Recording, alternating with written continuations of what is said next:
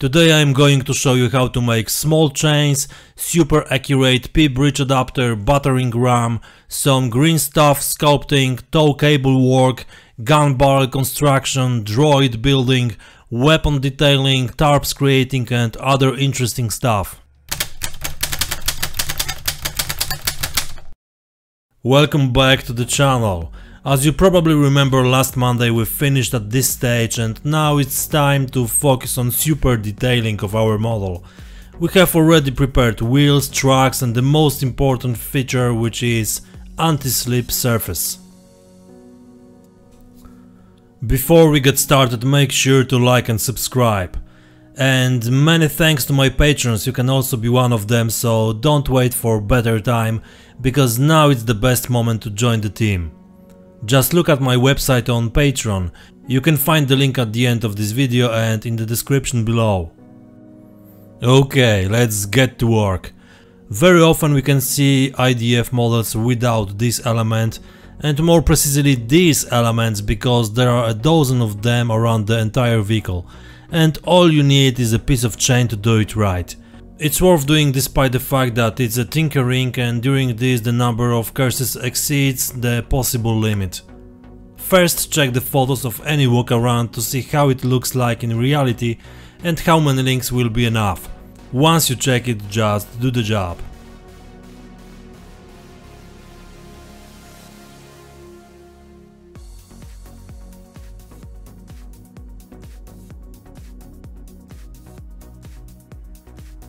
I glued the side panels with super glue and of course I tested them before if I would remove the wheels for painting.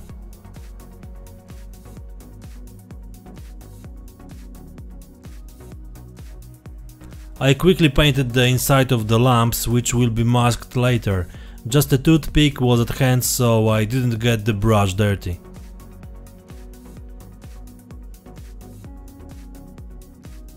Now something more sophisticated. Quick Wheel Company offers an adapter for towing engineer bridges. The kit includes one for mounting on the front and one for the rear of the vehicle. I chose the latter option but I'm not sure if there should be both on the model so that the configuration is correct. This set is suitable for all Merkava models available on the market. The first thing that is easily seen is the amount of the details that we have in the set. As you have already seen there are even mini screws that need to be mounted. All this makes the set one of the top add-ons for Merkava and it's worth having it on the model. The cast is very good, the manual is clear, in addition to the set there is CD with in action and details photos of the original, so there is something to follow. I replaced the handles because I didn't want to clean the resin ones which are very fragile. I glued the metal parts on a slow drying glue which additionally filled the gaps. Finally, the metal shackle will be another addition to the entire section. Take a look at the building instructions. The battering ram isn't very common on modern tanks, but IDF uses it quite often. This is another quick wheel super product to enrich the Merkava tank models. It was prepared in collaboration with Desert Eagle Publishing. I prepared all the parts but the manufacturer forgot about the most important ones. Fortunately after one email everything came within a few days and I had the complete set necessary for the construction. For this one it's very important to check the instructions carefully. Maybe it doesn't look complicated but trust me and do it when it's your first time with it. In general the quality of the parts is almost perfect. Minor work such as drilling a hole or sanding is standard so it isn't a disadvantage for me. Truly speaking it's a small, highly detailed model.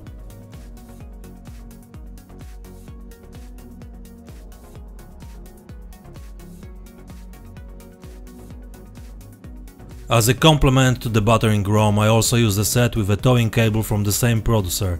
I heated it with a torch to make it even more flexible and after adding resin tips it was ready to be mounted on the model. Such a curiosity. I compared the Eureka XXL and Karaya cables from the set I used and you can clearly see a different weave. Karaya is definitely thicker than the Eureka XXL. I started checking my references and both seem to be correct. It's just that IDF uses different types of ropes. So following this trail I will also do it and put a rope with a thick strand in the front and the rope with a thin strand will hang on the basket of the turret. I modeled the cable setting based on the Merkava photos then glued it on the model with CA glue.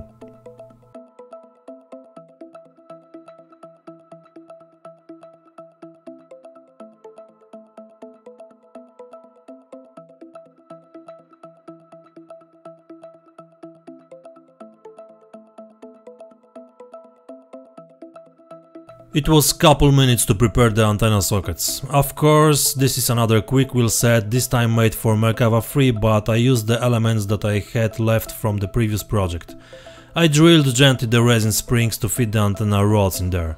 One important note is when making a model like this and when inserting the antennas, remember that they don't bend due to the material they are made of. Springs bend. Now I went back to the kit parts for a moment to make a basket for the turret and chains which are so typical for this tank family. Of course you can do it from a set such as Legend or Voyager and replace the balls and chains with metal and make them movable, but I have done it before and this was so much work. I also made one from the kit like here and they look quite good. So I decided to save some time, don't strike a nerve and use what the producer gives. After a delicate polishing they present well enough. I will do something more in a minute but need to wait for the glue to dry.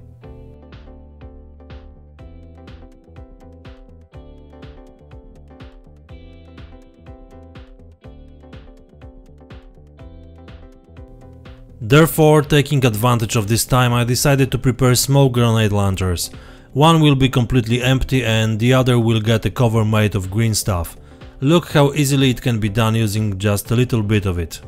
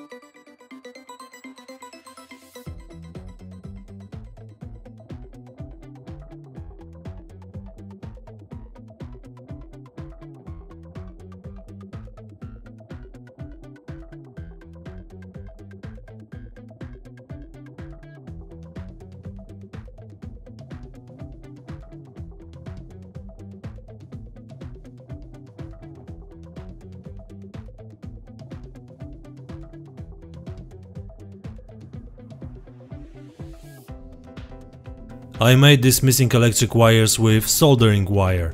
It's perfect for this because it's easy to form. From the photos available I conclude that this is how they should be arranged. We go back to the basket on the turret. As my model is going to be presented as moved, I decided to swing the chains a bit. It may not be like in the real world, but it will certainly give the impression of dynamics.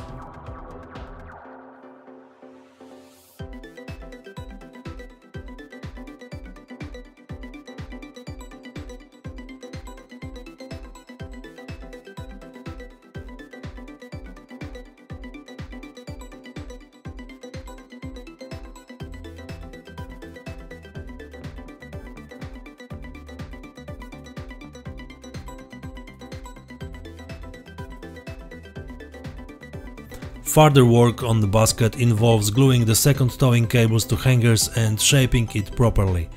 It's not a difficult task, but it would be much more difficult using the poor quality rope that the producer provided with the kit. As for me, the replacement of towing ropes is the basis and 100% of my models have this done. Sometimes I don't even treat it as an addition, it's just a necessary in my opinion because for economic reasons producers will never add such a good ropes to the sets as a stuff like presented here.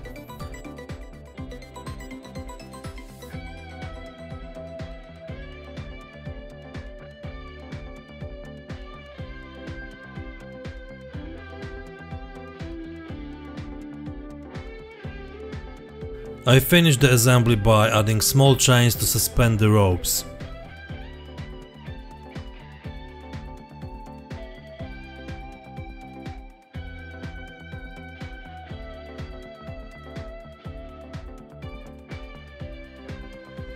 Another model in the model. The barrel from Magic Models resin and metal two photo etched plates. To put everything together this little instruction attached to the kit will come in handy. Generally it's not difficult but you have to be prepared that this one needs a bit more than a few minutes. While the main parts fit together perfectly and their assembly is very quick, the barrel clamps are much more time consuming and labor intensive. All this tinkering around clamps takes a moment of fuss and preferably with a magnifying glass. In the movie it looks like a walk in the park but I actually got a little tired doing them all. I am planning to do a separate episode with the metal bars, but I need to collect some video material. And there are some nice models that I would like to show.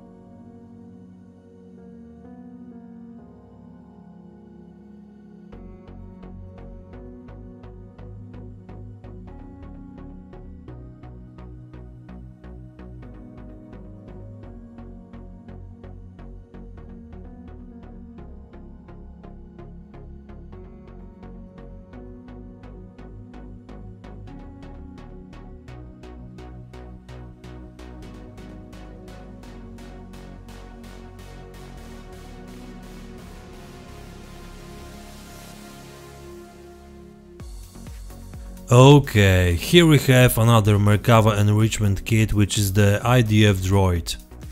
Legend rose to the occasion and has prepared a pretty cool set. The resin is in nice quality, a PE set will be helpful for sure.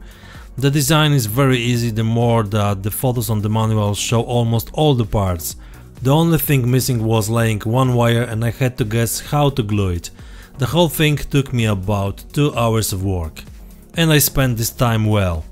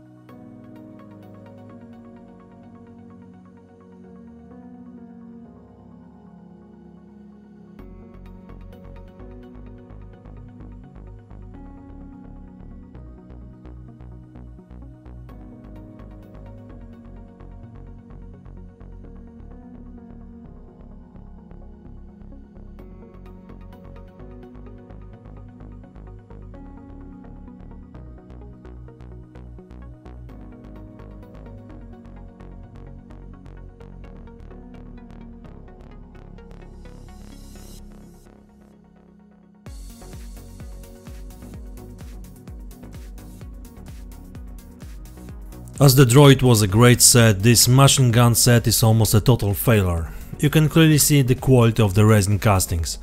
The best option for this is flight into the trash bin. But fortunately the element that I care about the most can be used, although it's not as good as it should be. But okay, we need to make some improvements to our weapons. I drilled a hole in the barrel and also in the cover where I deepened the existing ones. In addition to this I added a few elements from the sets that I have left from previous projects and after all that work Browning looks pretty cool. Later I will add some cables for electrical and manual control. Side machine guns are made without accessories.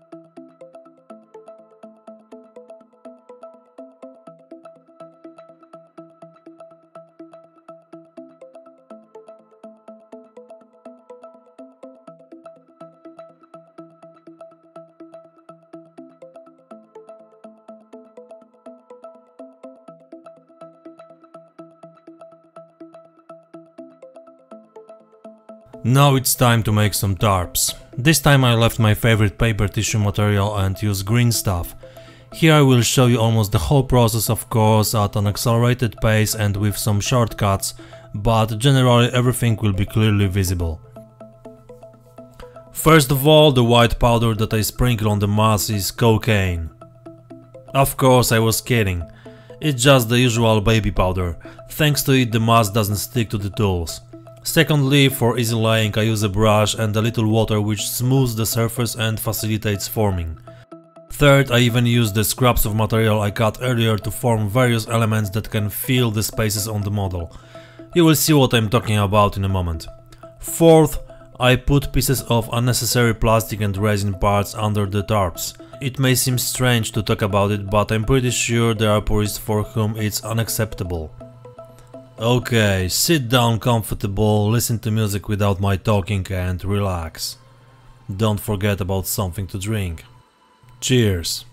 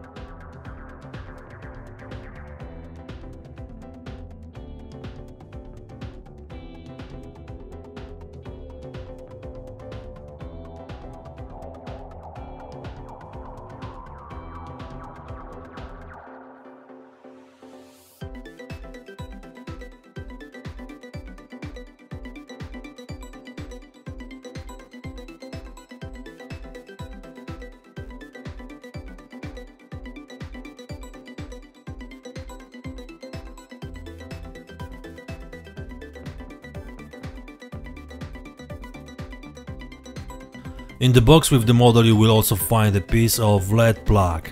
This is probably intended to be used as vehicle marking plates. For me it's definitely not a good solution. As we look at the photos this element is made of completely different materials. The deck is attached to the basket on the turret and a tarp is attached to it. What is interesting, you can often see bends on it which can be quite easily copied to the model. A piece of plastic with two stripes on the edges will be covered with a piece of properly cut paper. Once the dimensions are established I will fold it gently in several places so that these characteristic lines appear. Not too tight but so that the lines are visible. We glue the paper to the plastic with CA glue and we have ready marking plates. All you need to do is stick them to the basket railing. Of course you can stick them later because it will be easier to paint them separately, but I like to have as many elements as possible glued to the model, so that's why I did it here. The pictures of real vehicles also show other versions of such plates, it all depends on what's on them. Proper names of vehicles appear there very often, then it's best to do it from a piece of plastic because in fact it's a piece of plywood with a painted inscription or letters cut out from some thicker material. Just check the Desert Eagle publishing books about Merkava and I'm sure you will find something interesting about such markings. Finally, small chains will be the icing on the cake in the construction of this model. And it's built. Let's reveal the final result. I don't know if you feel the same looking at this model, but for me it makes a really great impression. Its size, shape and general appearance, it's just wow! Please let me know what do you think about it. Before you turn off, thank you for watching this episode. Next week I will deal with basic painting and markings. Subscribe to the channel to be close to my new videos and set your notifications. Please check the other movies I have posted on the channel and write a comment if you like something or not. That's all for today, see you next Monday, cheers!